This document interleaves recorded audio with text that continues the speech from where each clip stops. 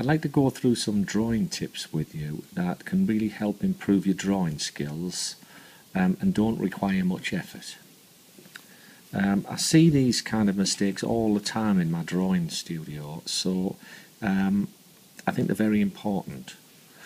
The first one is keep a sharp pencil.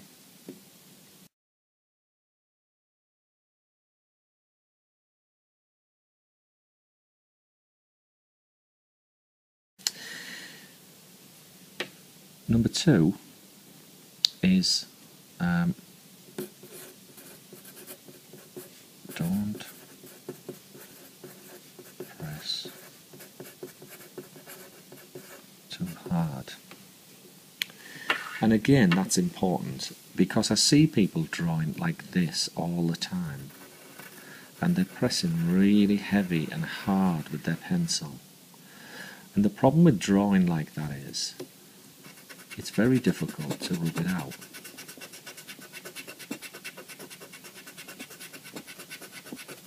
Mm. And we make mistakes all the time in art, so we need to be able to rub things out. And if I press lightly, like that, then I can rub it out.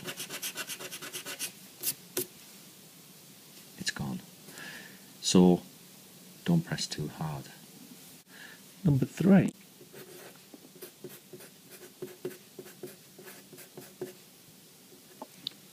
sketch.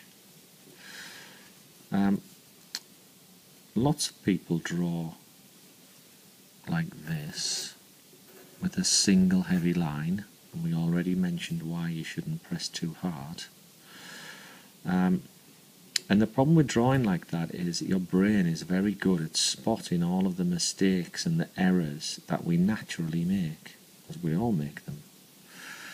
So if you sketch lightly, what happens is your brain is confused by the amount of lines. It can't see which line, line is right and which is wrong. So it just takes the whole picture and it actually looks much more accurate than that one.